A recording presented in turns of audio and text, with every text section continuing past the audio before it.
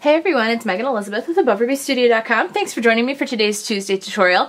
I haven't done a card in a while, it feels like, and I wanted to make a card. I found this transparency, um, and I'm not sure if this is actually going to work the way I think it's going to, but this is from, I believe it's a um, Simple Stories kit. It's one of the Simple Stories, um, and I really liked it. I thought it was cute, and I thought it would be like a really great way to say like I'm happy in your in I'm happier in my life or something like that. Um, but it's just like a hello. I don't know. I just thought it was kind of cute. So we're going to use this. I'm going to do um, some of the basic foundations. This is from Three Birds. This is an HSN exclusive. When I was there, um, Jenny from Craft Test Dummies was uh, demoing and showing this on air. And it's awesome. I was so excited to get it. Um, and there's just so many things in here. There's the really trendy chevrons and swirls and hexagons and really awesome colors from your pastels, your teals, your bright primary colors. There's that chevron, looks so great. Um, dots and swiggles and stars. Really, really awesome stuff. Love the grid pattern. So many different things in here. So 108 sheets come in this uh, basic pack. It goes forever and you just, you know you're going to have the right color to pull out. And it really happens to be that I do because this um, orange chevron goes great with this card. I'm also going to be using an 8.5 by 11 sheet of paper that I'm going to fold in half and I'm going to make a letter size card with it. and we're going to cut it out a little bit and kind of um, make a frame, I guess you could say, is what we're going to basically do. So what I'm going to do is I'm going to start by folding it in half. in half. It's going to be a larger card, but I'm okay with that. And then what I want to do is kind of line up and see where I want this to go on my card. And I'm actually just going to grab a pencil and kind of sketch. Try to line it up that's, you know, pretty even and straight. The edge.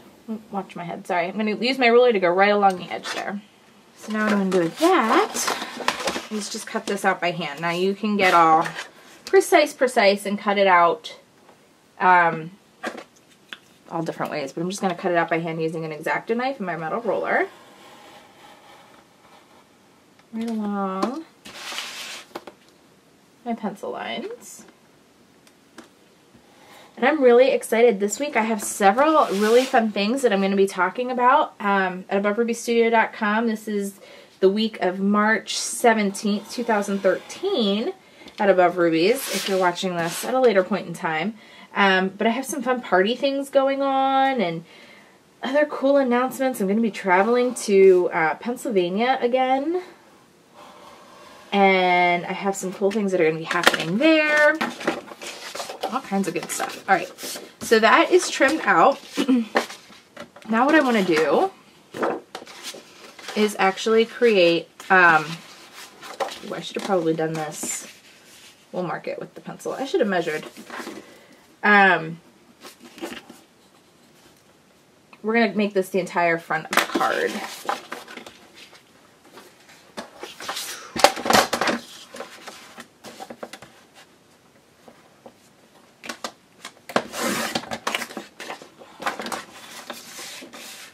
And it's always better to make it a little bit bigger than too small. But that should be plenty of chevron.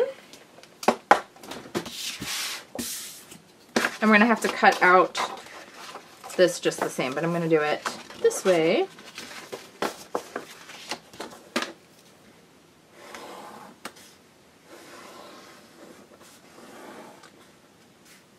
Lines. I'm going to make this a little tiny bit smaller. Just a tiny bit than my other opening. Now what I thought I would do here is just glue this right into the center of this opening. And then I'm going to place this on top and it's going to be framed out and it'll kind of sandwich it in together and hide any adhesive or things that are stuck there. At least that's my thought. We'll see how this actually plays out.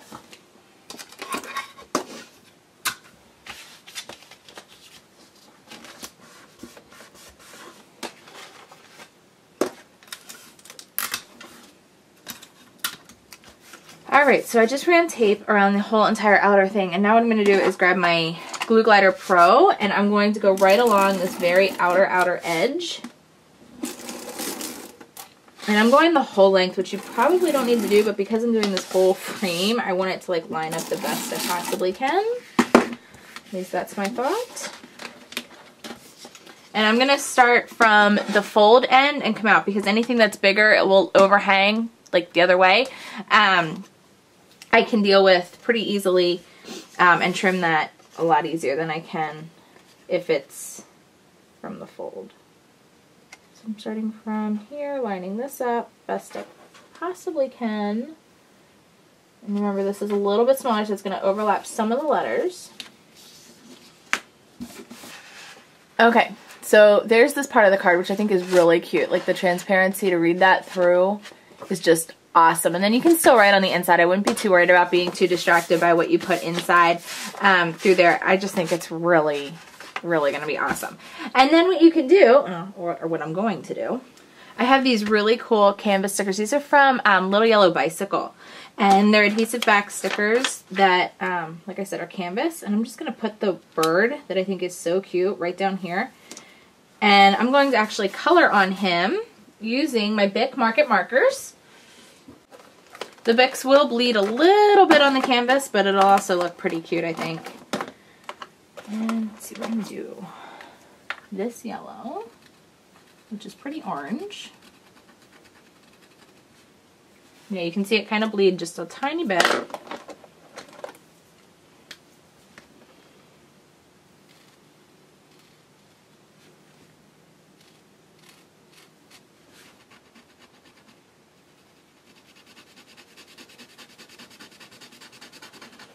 Just fun to color in some canvas. You can use any different kind of marker. You can use alcohol markers on these too. Again, they'll probably bleed a little bit for the most part. Um, but if you just stay away from that edge line a little bit, you can kind of blend it and make it work for you. And get a pretty even tone. Pretty darn cute. Pretty cute. Let's see I kind of hesitate doing, yeah, I don't want to do that. I think I'm going to do, this is really light green. Oh no, let's do yellow. Okay, yeah, I'll make up my mind eventually. I'm going to do yellow here.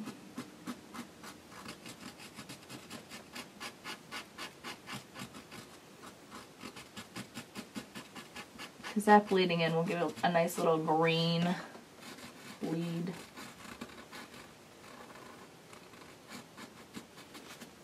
Oh my gosh, it's so adorable.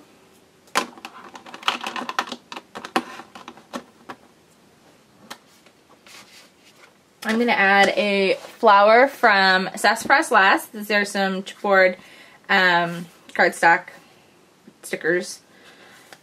Cardstock stickers, rather. They're not chipboard. But I think they're kind of cute. Ooh, this one might be cuter. Let's see. Kind of, kind of, kind of sort of like the colors. I don't necessarily want to do all four corners, but this might be kind of cute to do this kind of thing here.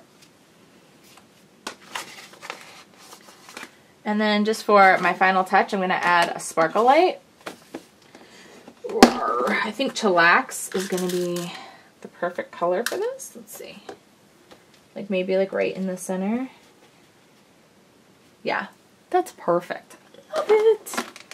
All right, and then for my um, Sparkle Light under my Glue Glider Pro, and this still has the extreme tack in here.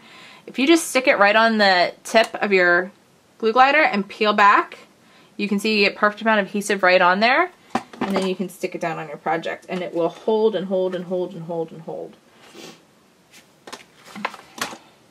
Very cool. Now this card's ready to go. I hope you guys enjoyed today's Tuesday tutorial.